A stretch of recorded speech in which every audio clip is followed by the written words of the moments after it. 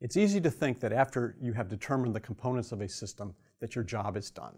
Just as vital is determining how those components will correctly interact. Treating connectors as first-class part of the design process can further that end.